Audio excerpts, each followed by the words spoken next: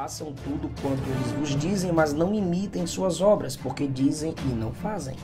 O que eles dizem está na Bíblia, mas a Bíblia não está na vida deles.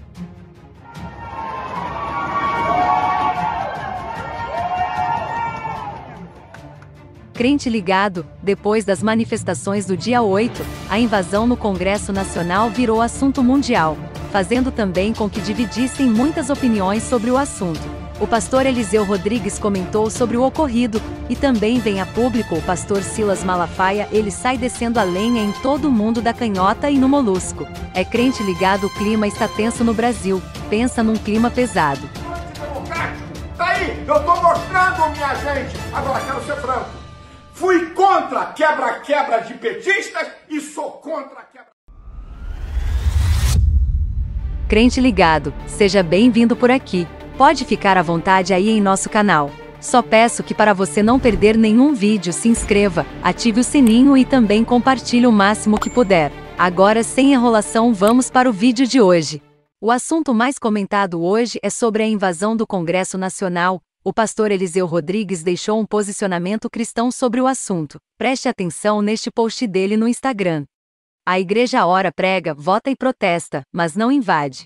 Paulo disse que poderia ser imitado apenas porque era imitador de Cristo. Aos Efésios Paulo disse imitem Deus como filhos amados. Efésio capítulo 4 verso 1 e 2. Entendo a fúria da sociedade, mas não concordo com crentes incentivando depredação e ainda usando textos de Davi, Josué e Jesus usando chicote no templo. Já o pastor Silas Malafaia saiu descendo a lenha em tudo quanto é petezada, inclusive no molusco. Preste atenção neste vídeo agora. Povo abençoado do Brasil, o que aconteceu em Brasília é ato antidemocrático, é golpismo? Eu vou refrescar a imprensa à esquerda e o senhor presidente da República que mentiu. Vamos começar dizendo que nunca o PT ou a esquerda fez nada disso. É mesmo, é? Em 2014, o MST tentou invadir o Supremo Tribunal Federal. Ministros tirados às pressas. 30 policiais feridos e 8 em estado grave. Pensa que só foi isso? Eu vou mostrar as invasões, algumas delas, tá? Dos petistas. Tá aí, ó, invadindo várias repartições públicas e quebrando tudo. Nunca vi a imprensa, nem a esquerda, nem dizer que isso é ato golpista ou antidemocrático. Tá aí, eu tô mostrando, minha gente. Agora, quero ser franco. Fui contra quebra-quebra de petistas e sou contra quebra-quebra. Não sou a favor de quebra-quebra, sou a favor de manifestações livres, baseadas no artigo 5 da Constituição, inciso 16, manifestações livres e pacíficas. Não sou a favor de quebra-quebra. Agora vamos lá. Nunca vi a imprensa, nem a esquerda, nem Lula, nem ninguém dizer que senhor Alexandre de Moraes comete atos antidemocráticos um inquérito ilegal, imoral, gente do povo presa sem o devido processo legal, rasga sucessivamente a Constituição e nunca ninguém diz que esse indivíduo comete atos antidemocráticos. A paciência de um povo tem limite.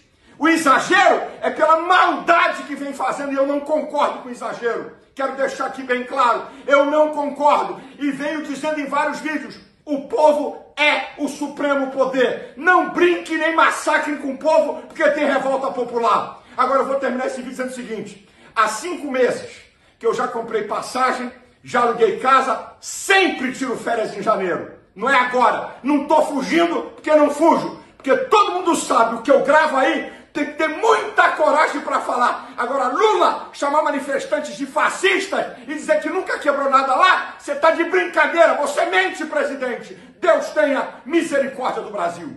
Então, crente ligado, queremos saber aqui qual a sua opinião sobre tudo isso que está acontecendo e sobre o posicionamento desses dois pastores. Coloque aqui nos comentários a sua opinião. Antes de encerrar este vídeo, tenho algo muito importante para te falar. Se você que está vendo este vídeo gosta de estudar a Bíblia, temos aqui o que você precisa. Em todos os nossos vídeos deixamos no primeiro link da descrição uma apostila de hebraico bíblico e cultura judaica para enriquecer o seu conhecimento bíblico. Essa apostila é indispensável para você que gosta de estudar a Bíblia. Clique no primeiro link da descrição e faça o download dessa apostila que irá abençoar a sua vida e seu ministério.